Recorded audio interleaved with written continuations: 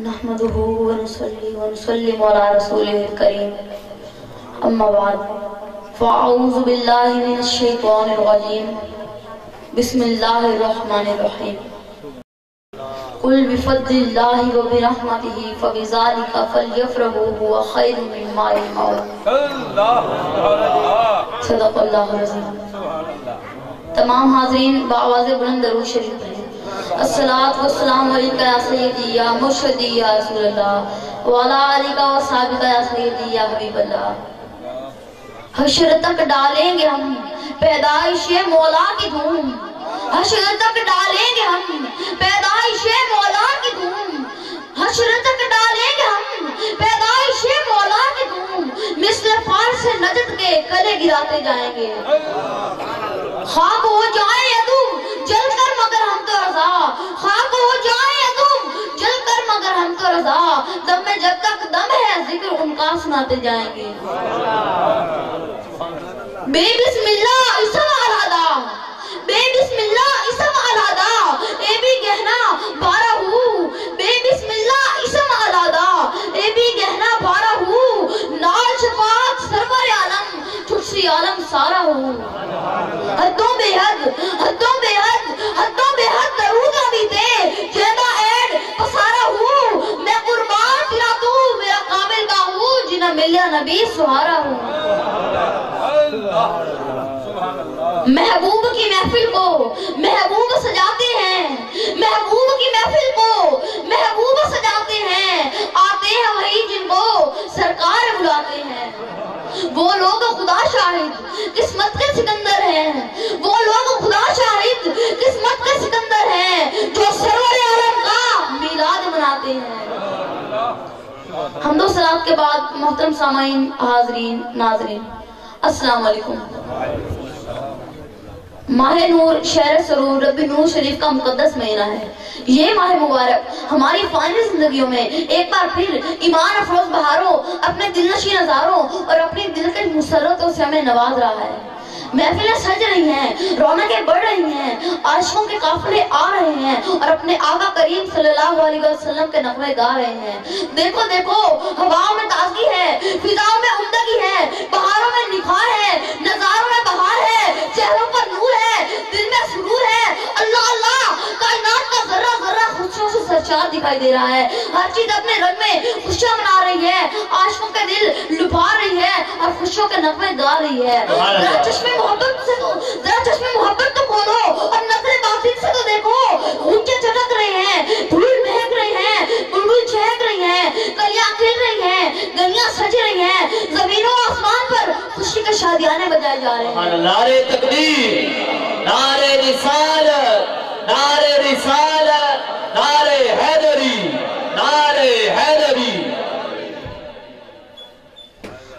خوشی ہے، مسرت ہے، فرحت ہے، مستی ہے، سرور اور جشن ہے۔ کیونکہ سب ایک دوسرے کو آمد محبوب پر مبارکیں دے رہے ہیں۔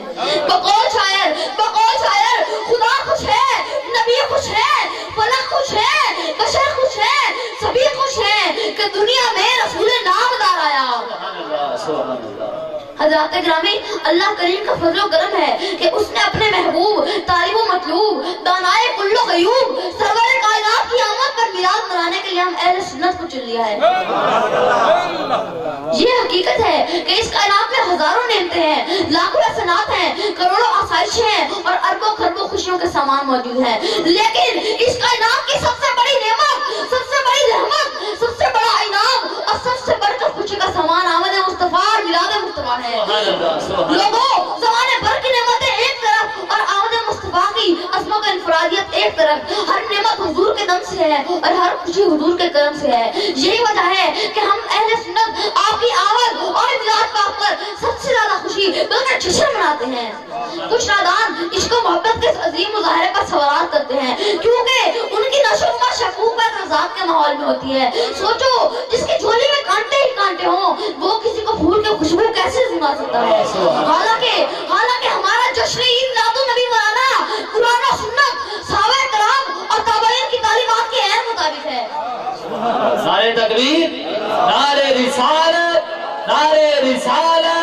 اللہ نے چکے نعرے رسالت نعرے رسالت، نعرے عیدوی سرکار کی آمد، سرکار کی آمد، سرکار کی آمد۔ آئیے ذرا دلائل کی دنیا میں چلتے ہیں۔ اللہ کریم نے شاہ فرماتے ہیں، اے محبوب، اعلان فرما دو، اپنے غلاموں کو سنا دو انہیں زندگی گزارنے کا سلیقہ سکھا دو کہ میرے غلاموں تمہارے زندگی میں کئی نشے کو فرار آئیں گے۔ تمہیں کبھی صدموں سے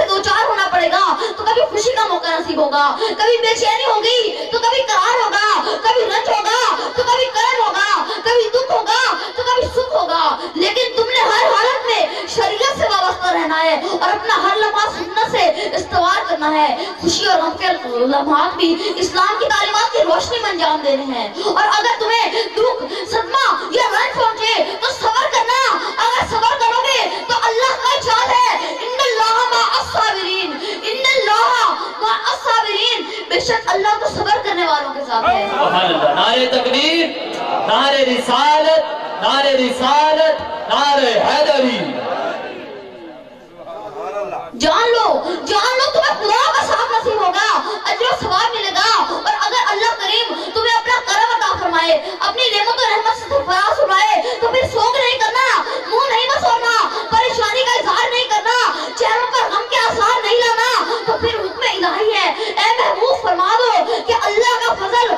رحمت کے ملنے پر ضروری ہے کہ لوگ خوشی منائیں۔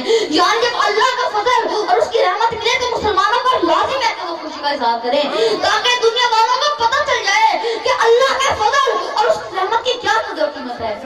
کہ اللہ کے فضل اور اس کی رحمت کی کیا قدر قیمت ہے۔ تو پیارے دوستو، اگر رحمت ہوگی چھوٹی تو ہم خوشی منائیں گے۔ فضل ہوگا چھوٹا تو ہم خوشی منائیں گے۔ مگر جب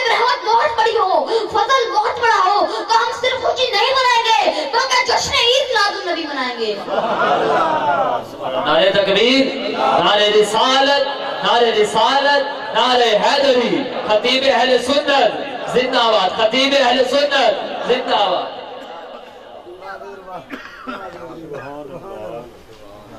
پیارے دوستو، اللہ کریم نے پیارے دوستو اللہ کریم نے شاید کو لفظ پھر سے شروع فرمایا لفظ پھر سے شروع فرمایا اور اس کی وجہ بقول شاید یہ ہے کل کہہ کر اپنی بات بھی منہ سے تیرے سنی کل کہہ کر اپنی بات بھی منہ سے تیرے سنی اتنی ہے تیری گفتگو پسند اللہ کو۔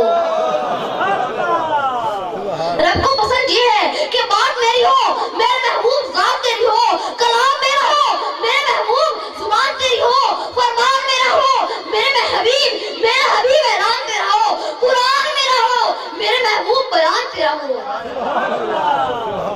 یہ حقیقت ہے کہ اس کائنات میں اللہ کا پیغام جس کو بھی ملا وہ وسیلہ مصطفیٰ سے ملا۔ اور اگر میں یہ بات کہوں تو بھی غلط نہ ہوگی کہ بندوں کو، انسانوں کو، مسلمانوں کو، مدنی کریم کے غلاموں کو، رب کی بارگاہ سے جو کچھ بھی ملا ہے، وہ سب کمری والے آقا کریم صلی اللہ علیہ وسلم کے صدقے سے ملا ہے۔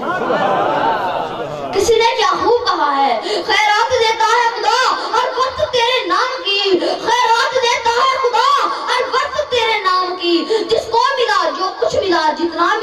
قادرہ محترم سامعین، ایمانداری سے بتاؤ کیا کلمہ ہمارے گھروں میں آیا؟ نہیں نا۔ کیا نمازیں کسی سردار پر نازل ہوئی نہیں نا۔ کیا روزے، حج زکات صدقات کسی وزیر، سفیر، امیر کو ملے؟ نہیں نا۔ یا کسی محدث، مفسر یا محقق کے خدمت میں آئے؟ نہیں نا۔ کیا قرآن کسی مولوی، مفتی یا قاضی پر اترا؟ نہیں نا۔ یقینا نہیں۔ تو پھر یہ ناقابل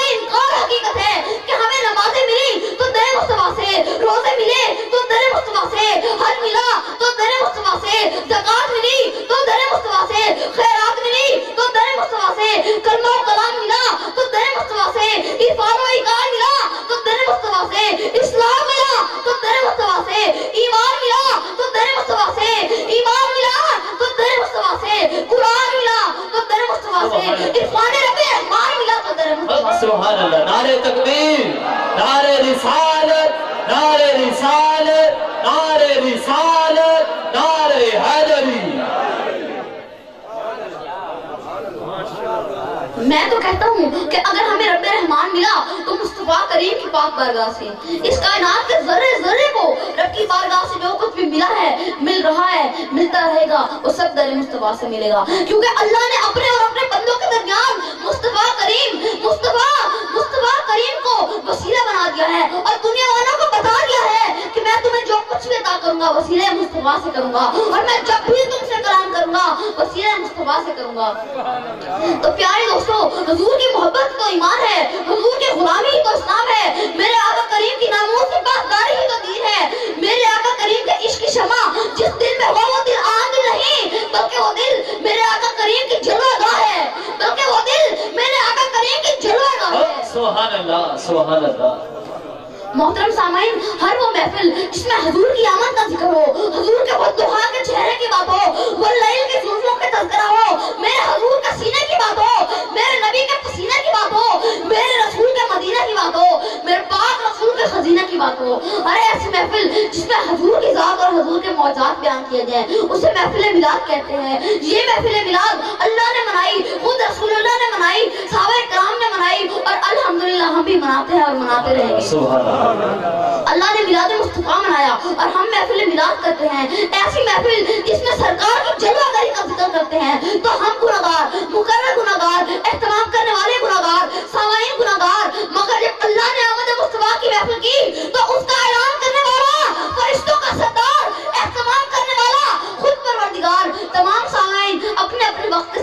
محفل کا موضوع تھا ذکر سید ابراہیم۔ نعرہ تکبیر، نعرہ رسالت نعرہ رسالت، نعرہ حیدری۔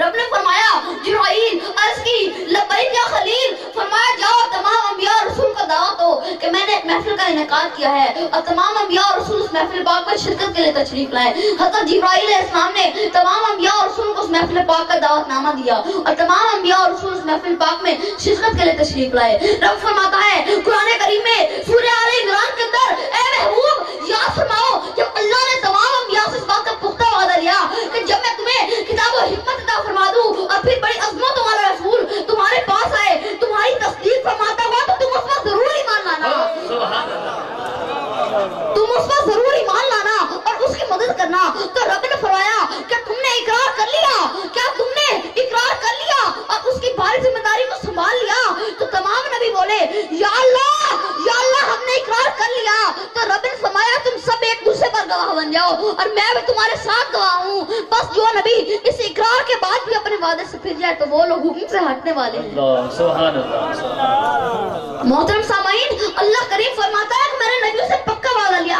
حالانکہ ابھی وہ دنیا میں آئے نہیں اعلان نبوت فرمایا نہیں۔ ابھی تو عالم ارواح میں یہ وعدہ لیا جا رہا ہے۔ تو فرمانا چاہیے تھا کہ میں نے نبیوں کے روح سے وعدہ لیا۔ مگر رب فرما رہا ہے کہ میں نے نبیوں سے وعدہ لیا۔ تو پتہ چلا کچھ پتہ چلا کہ نبی دنیا میں آ کر نبی نہیں بنتے بلکہ وہ عالم ارواح میں بھی نبی ہی ہوتے ہیں۔ اللہ۔ اللہ کریم نے تمام انبیاء سے پکا وعدہ لیا اور تمام انبیاء تمام انبیاء کرام اس شرکت کے لیے تشریف لائے۔ باہر کوئی نہیں رہا۔ اور غیر نبی اندر گیا نہیں۔ اللہ کریم نے تمام ارواح انبیاء کرام سے خطاب فرمایا کہ جب میں تمہیں رسالت اور نبوت اور کتاب و حکمت عطا فرما دوں اور تمہاری نبوتوں کا دور شباب ہو، تمہارے کلمے پڑے جا رہے ہوں اور پھر بڑی عظمتوں والا رسول تمہارے پاس ہے جو تصدیق کرنے والا ہے۔ رب نے فرمایا، جبرائیل میں اپنی توحید سے ایک جلسہ کرنا چاہتا ہوں تو ساری کائنات کی روحوں کو اعلان کر دو کہ سب اس میں شریک ہوں۔ جلسہ توحید میں سب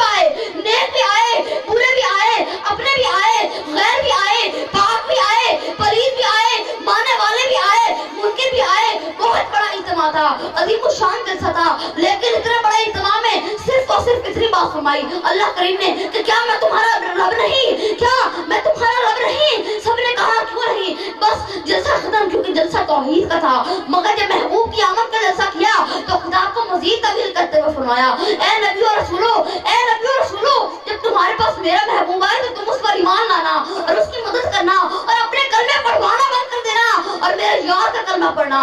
اپنے کلمے پڑھوانا بند کر دینا اور میرے یار کا کلمہ پڑھنا۔